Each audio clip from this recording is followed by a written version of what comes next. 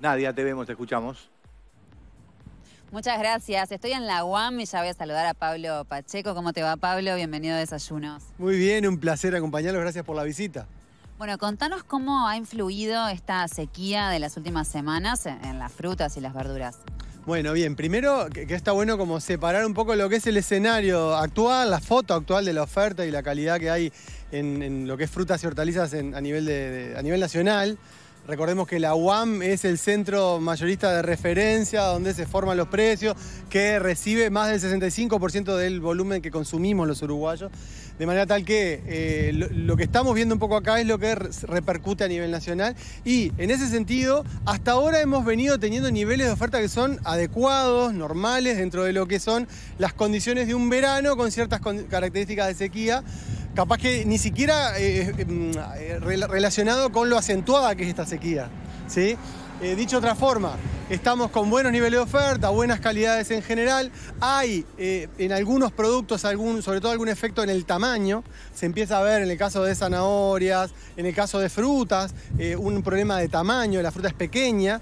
Que en el caso de frutas eso tiene una contraparte que está buena porque hace que esté muy rica, porque concentra... ¿Qué frutas, sabores por ejemplo? todo lo que ha sido la oferta, la zafra, perdón, de, de frutas de carozo, de duraznos, de ciruelas, eh, de pelones, que son, digamos, eh, también de, de- de este grupo. Manzanas y peras vienen muy ricos también, melones y sandías están muy buenos de, de comer y esto todo está relacionado con estas condiciones de sequía. ¿sí?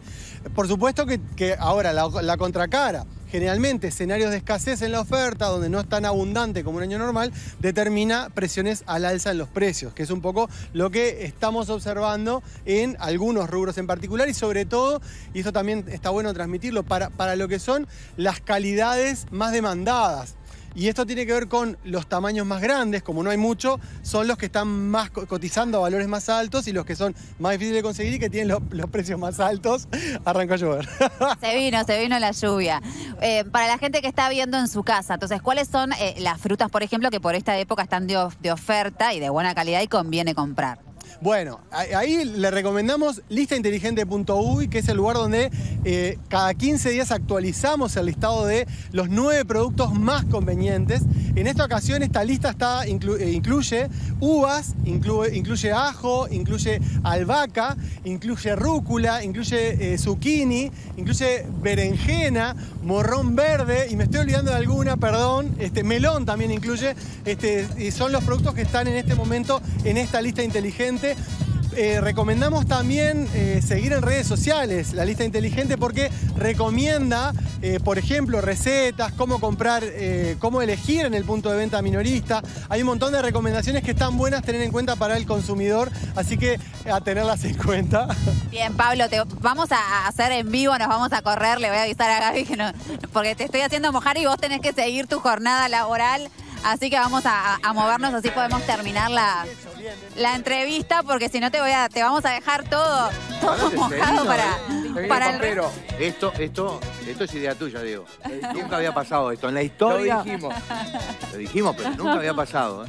Nunca había pasado. Tremendo viento, además. Se levantó un tremendo viento, la verdad. Impresionante. Aparte en esa zona que. Claro, este, muy abierto. Sí, Muy, claro, muy descampado. Bueno, a ver si. eh, Salió ¿lo flojita tenemos? igual Nadia, ¿no? Bueno, ya vamos Salió a. flojita, Un poquito dice de Nadia. agua. ¿Podés? Ayer dijo, me Pero mojo, pobre me gusta le- Pero se estaba preocupando más del equipo. Ah, pero a ver. La cámara, del ¿Qué me- todo. cuando empezamos el programa, ¿qué me preguntó Nadia? Va a llover y yo le dije, le voy a preguntar a Diego. Diego que dijo, hoy no, mañana sí. ¿Se acuerdan? Hace un ratito. no la o sea, quise no, avivar. no podemos tener tan mala No la quise avivar. Ah, era por eso. Bueno, a ver, Nadia. volvió. A ver, ahora sí, te tenemos. Bueno, la señal, la verdad, porque se desató un temporal con mucho viento. Yo los escucho a ustedes, pero un poquito entrecortado. Así que voy a terminar de conversar acá con Pablo y ya lo vamos a liberar también para que él pueda seguir su, su jornada laboral. Diego, me mandaste la lluvia, pero como viene bien, lo recibimos bien, porque se precisaba, se precisaba la lluvia, así que nos mojamos con gusto. Bueno, Pablo, eh, también te quería eh, preguntar. Está de moda y por suerte muchas, muchas personas cultivan también en su casa, ¿no? Entonces a veces nos preguntan, ¿qué es lo más fácil para, para cultivar eh, en la casa la gente? ¿Qué- ¿Cuáles son la- las frutas o las verdu- verduras que son más fáciles de, de que se puedan cultivar en casa? comprar las semillas y sembrar. Bueno, ahí hay, hay un montón de rubros que tienen esa particularidad de ser relativamente fáciles de producir.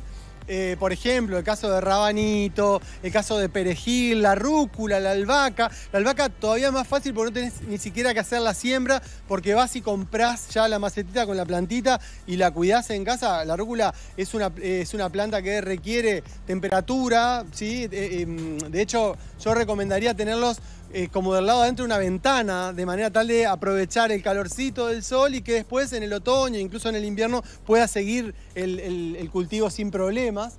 Este, pero bueno, si, tenemos que plantar afuera, perejil no tiene problema con las temperaturas bajas, rabanito, como decíamos eh, recién, tampoco, el nabo es otro rubro.